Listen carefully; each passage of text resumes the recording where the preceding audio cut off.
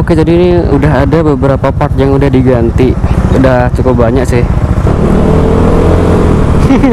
Menu-menuin.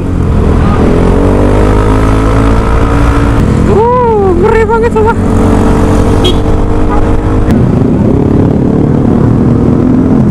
Ini mesti hati-hati karena kanan kiri bawa box, boy. Ingat, ingat, ingat. Ini bawa box. Kelihatan nggak tuh? gede banget. Ya, basisnya kan ini udah gede ya. Apalagi tambahin box samping. Kalau sama yang kemarin sih kayak gede ini ya. Kayaknya lo ya.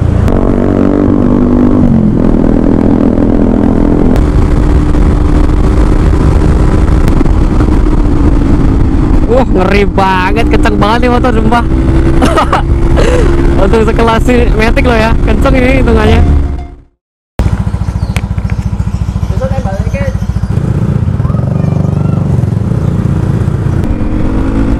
Assalamualaikum warahmatullahi wabarakatuh Balik lagi bareng Aska di sini Jadi hari ini Atau lebih tepatnya sore ini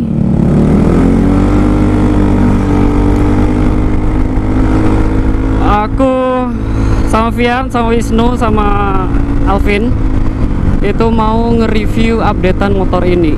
Jadi seperti biasa ya, mungkin uh, video ini bakal tayang dulu, baru review modifikasinya, review updateannya ya. Karena motor ini udah udah pernah direview total keseluruhan sebelumnya. Jadi kalau misalkan kalian belum lihat, kalian bisa cek dulu videonya yang itu kalau enggak kalian bisa cek link di pojok kanan atas atau di deskripsi di bawah dan kali ini kita akan menuju ke daerah Kaliurang. Dikarenakan akhir-akhir ini cuaca udah panas siang itu panas banget. Jadi untuk review kita cari yang setidaknya lebih dingin daripada di daerah kota ya. Sumuk eh ditutup. Jadi ini sekarang sama Vian pakai Aerox biasa yang sering muncul di YouTube. Ini hari ini aku serba merah nih. Kaosnya merah motornya merah merah dan hitam. Jadi sembari kita ke arah tujuan sembari kita juga ngevlog aja di motor. Daripada gabut juga. Jadi kan kalau yang kemarin barusan uh, aku juga nge-review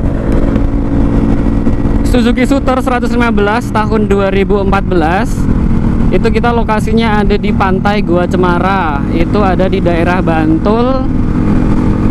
Itu jadi pantai selatan ya. Pantai selatan karena memang Jogja nggak punya pantai utara. Jadi kenapa di sana? Karena salah satunya tempatnya cocok banget. Sebenarnya ini juga cocok karena kan ini adventure banget ya. ADV bodo amat dikatain advance ya emang emang memang advance tapi looksnya dan lain-lainnya juga bisa lah dipakai adventure mini adventure gitu lah. Bukan off road yang berat off road ringan gitu aja gitu. Cocok. Di sana tentunya di pantai ya. Tentunya anginnya itu kenceng banget. Jadi setidaknya tidak terlalu panas. Dan untuk ADV ini ini kan mesinnya udah nggak standar ya. Udah di bore up kalau nggak salah 165 cc. Terus waktu itu juga aku pernah bikin video tentang uh, kita tes kecepatan antara ADV sama Aerox yang di depan itu. Untuk yang depan itu mesinnya masih standar Aeroxnya. Hanya knalpot aja yang diganti terus apa lagi? Busi bris action wire 2 eh satu yang dipasang. Terus apa lagi? Udah. Mungkin dari situ doang. Woo. nah jadi di video adu kecepatan atau test drag itu antara ADV sama Aerox ini hasilnya luar biasa sih ADV ini udah di bore up ya. 165 itu Aerox yang standar pun masih bisa ngejar. Dalam artian tipis-tipis gitu loh. Kadang Aerox yang menang kadang ADV yang menang. Jadi kalian bisa tonton sendiri deh di video itu biar jelas. Karena ya kemarin aku bener-bener berikan realnya biar kalian juga bisa tahu gitu dan juga untuk kalian semua yang suka nyinyir ADV lemot dan lain-lain. Jadi ADV yang ini di upgrade itu memang bukan untuk mengalahkan Aerox dan Nmax atau yang sebagainya. Jadi memang uh, ownernya itu pengen motor ini lebih bertenaga dari bawaan pabriknya jadi di bore up itu bukan bertujuan untuk mengalahkan Aerox. Karena bore upnya pun juga nggak terlalu ekstrim gitu loh. Cuma naik sedikit kan jadi 165. Kalau misalkan mau, ownernya tuh bisa jadiin ini motor uh, jadi 180 cc mungkin ya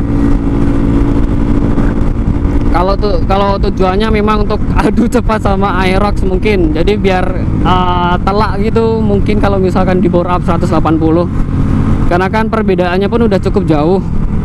Jadi pasti hasilnya juga lebih signifikan daripada yang cuman sedikit dinaikin gitu. Terus info juga buat kalian semua. Jadi ini uh, motor juga sudah mengalami banyak sekali ganti baju alias ganti dekal atau stiker. Dari yang pertama itu udah berapa kali ya? Mungkin 4 atau 5 kali kali ya. Ownernya itu sukanya ganti-ganti baju motor. Wih ganteng juga dari depan.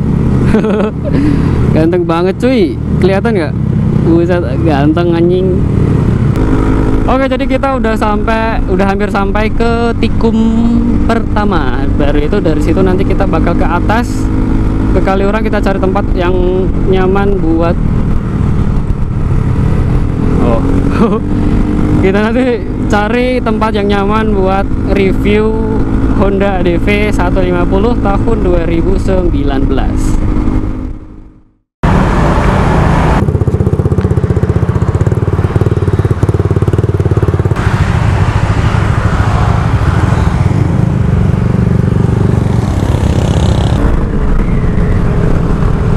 Itu kan bener. Kalau di gunung itu kan mesti kabut gitu ya. Dan di atas ini untung sekarang mendung ya. Tadi siang panas banget parah. Makanya kita tuh kadang jarang untuk mau review siang-siang. Ada Alvin ada Wisnu depan sendiri ada Vian jadi hari ini nggak bertiga tapi berempat lagi. Oke sesuai ekspektasi. Ternyata mendung. Tapi kayaknya belum hujan jadi masih ada waktu buat kita bikin video dulu. Jadi aku juga akan ngejelasin gimana sih rasanya naik motor ini. Karena kan mungkin kemarin belum ya. Pertama naik motor ini super duper nyaman sekali Sumpah ini nyaman banget. Oke, dari posisi riding stangnya cukup tinggi tapi tidak terlalu tinggi. Stangnya lebar meskipun ini masih original ini bawaan ADV meskipun tidak terlalu lebar tapi juga ini udah nyaman pas gitu. Lalu yang paling nambah nyaman sekali itu adalah joknya joknya itu luar biasa nyaman. Pakai MB Tech. Jadi selain ya, fungsional kenyamanan dari looksnya tuh juga enak banget. Sporty banget gitu loh. Apalagi ada tulisan ADV 150 nya luar biasa. Asik banget sumpah. Ini sih touring pakai ini nyaman banget. Dari segi apa namanya dari segi kapasitas bertambah karena pakai box sebenarnya juga ada box lagi untuk top boxnya tapi nggak dipasang. Jadi ini hanya untuk side boxnya aja. Masing-masing 24 liter cukup untuk bawa barang bawaan ya. Terus joknya pun di sini bagasi juga udah lebar. Bukan udah lebar memang lebar. Bawaannya kan bisa tuh masuk mungkin helm ya. Kali aja ya nggak tahu juga belum pernah coba jadi itu juga uh, untuk dari segi kapasitas sudah menambah banyak dengan penambahan box. Lalu panel-panel instrumennya luar biasa suka banget banyak sekali mainannya. Selain fungsional ini juga sangat estetik sekali. Ya kan? Mainannya banyak banget. Master rem kanan kiri pakai KTC dan kalian pakai motor ini ya. Auto dilihatin orang. Dari warnanya pun udah nyentrik banget ya warnanya merah dominan merah dan hitam. Ini konsepnya Red Bull dan anti mainstream karena ownernya tuh kalau misalkan dekalan di motornya itu udah ada yang ngikutin dia pasti cari yang beda. Jadi biar ada ciri khasnya dia gitu itulah kenapa mungkin tadi aku ngomongin di awal kalau uh, motor ini sering gonta ganti baju. Gonta ganti baju. Ini buat cornering enak sih.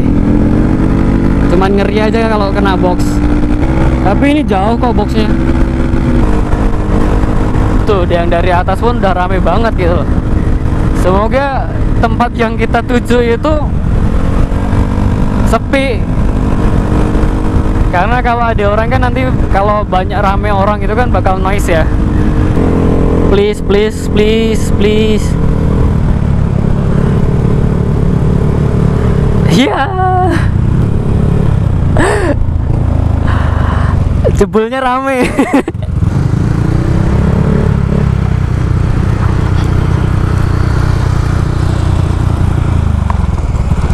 Anjing jalannya batu woi wow, wow, wow, wow, wow. nah untuk dipakai semi off road juga. Bukan off road sih off road kecil-kecilan lah ya. Ngeri berdiri.